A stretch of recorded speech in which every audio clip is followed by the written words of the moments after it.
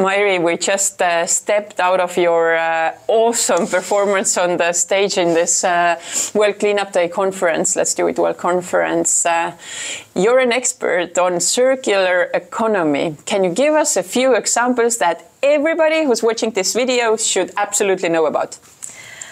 few examples or i could also tell like what everybody who is watching should do themselves to contribute to circular economy so we'll i think that. We get to that so you want my example still. Your your stage your stage darling. Okay so i think that um, the examples again very simple things that yeah. if you know any type of a place in your local community where you can repair something.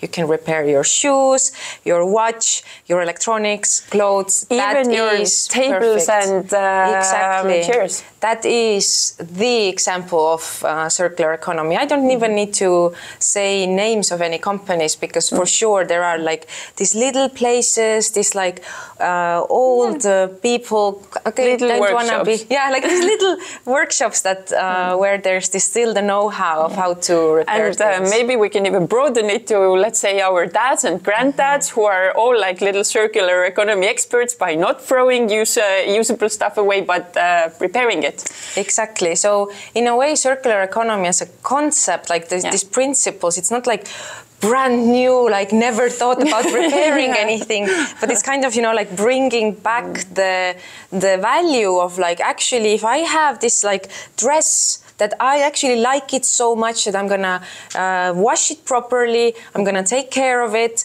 I'm gonna repair. You know, like all these uh, principles are yeah. the things that circular economy is uh, looking for. But I think what's the main difference in in uh, in let's say the discussions or the on the global scale now is that we need business to, to yeah. join this journey so they will make us these products that are repairable that are refurbishable mm. that are actually maintainable that they don't break down in the first uh, mm. use and there must be good examples.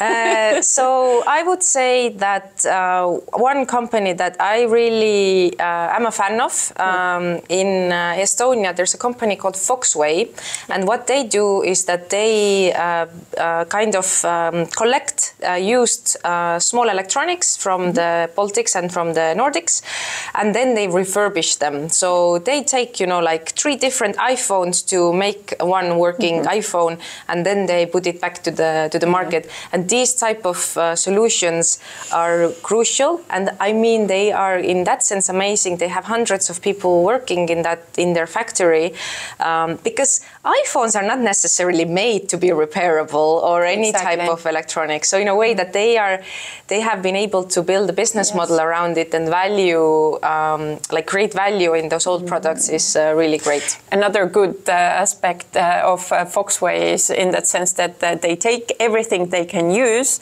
and what they can't use they recycle properly or uh, handle properly afterwards. Yes, exactly. Because that's also one of the things that um, we don't have in this collective consciousness or awareness now how many different metals there are in electronics and how it's much more like cheaper and uh, reasonable to actually uh, take those materials from existing yeah. products rather than going to mine them uh, new and uh, virgin. Mm. In, and in a sense, it's um, companies like this are also impacting uh, the bigger like telecom companies because uh, it's also like when average phone of a use of a phone is like two years, then I know Estonian biggest tele companies they want to change it to three or mm -hmm. in the end at 4 mm -hmm. Is that a trend?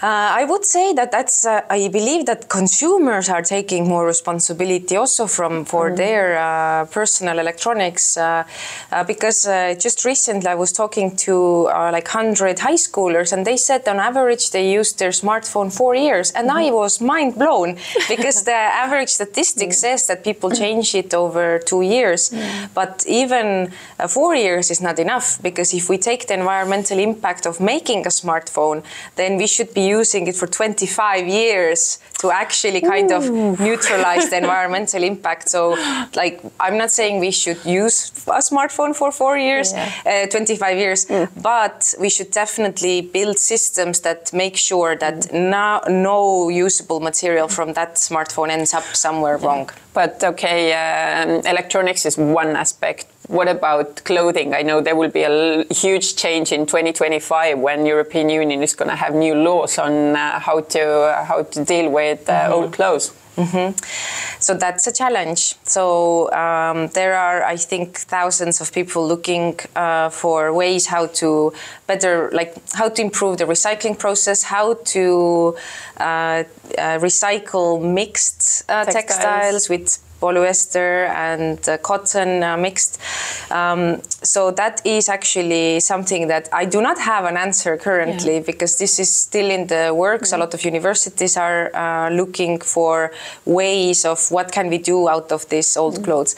The best thing to do from circular economy point of view on an individual level is still take like have clothes only in your closet that you truly love, that you truly want to wear, and then wear them literally until the end of life. So then they okay, maybe they are gonna go to at this very moment to landfill, yeah. Uh, but you have worn them so so many times that it's not that.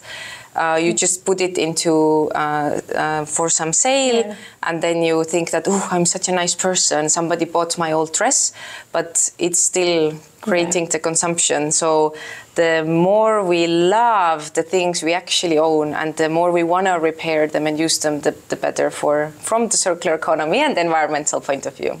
You, when you when you had your speech, you gave a very awesome example about a very clever idea how to uh, how to reuse uh, textiles, not as clothes. Mm -hmm. Please share.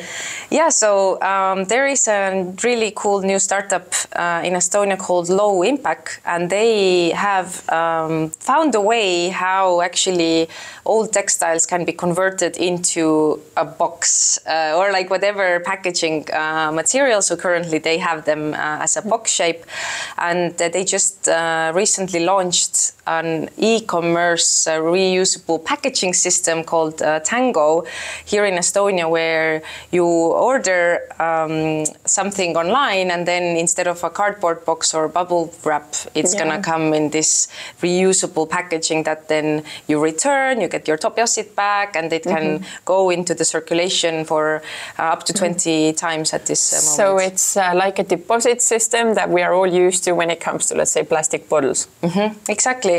And I think that this type of deposit systems, like I would love to see these uh, systems expanding to mm-hmm. um, to things in supermarkets. Um, to uh, why can't I buy like cheese in a reusable uh, package, mm. for example? Or also I go buy uh, shoes and sneakers, and and why do we have to have so much cardboard? Like yes, on one hand we have find, found ways how to reuse cardboard and we can recycle it and all yeah. that, but at the same time we're still using mm. it for one time, and that's the thing. Also, the circular economy um, with from that point of view, you try to design out one-time things and you yeah. try to make things actually reusable as many times as possible. Well, you know a lot about this topic. How do you feel when we will be at this point where you get to buy cheese in a reusable uh, packaging?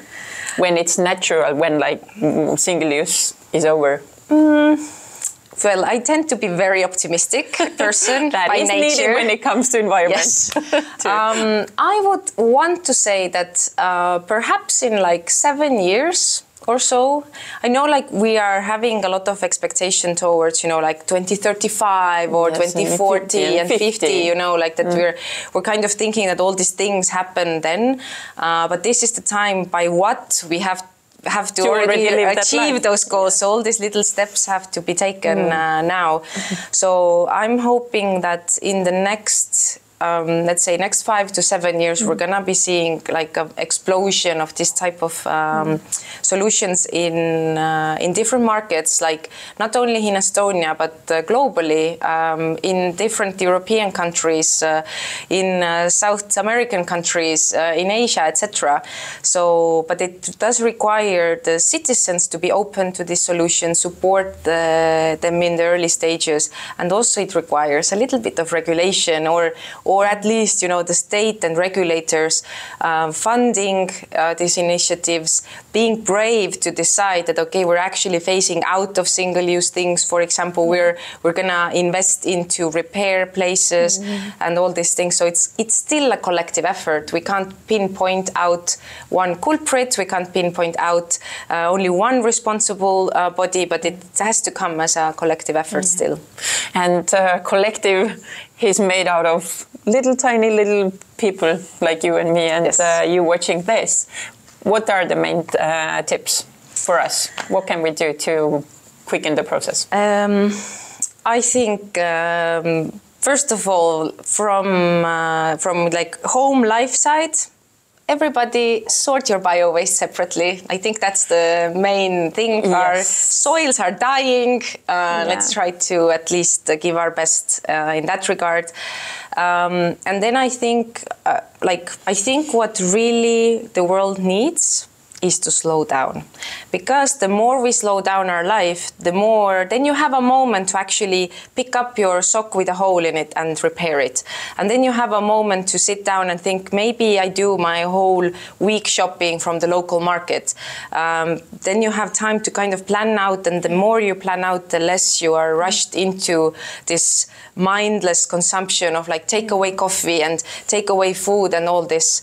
And then you have time to kind of appreciate what you have and realize I really mm-hmm. like the things that I have and I want them to uh, to be in my life for mm-hmm. many years to come. So slowing down life, down life, and living stress free. I think uh, that's what I would um, uh, like think that people should take as a goal for themselves. Thank you so much for your time and this awesome input.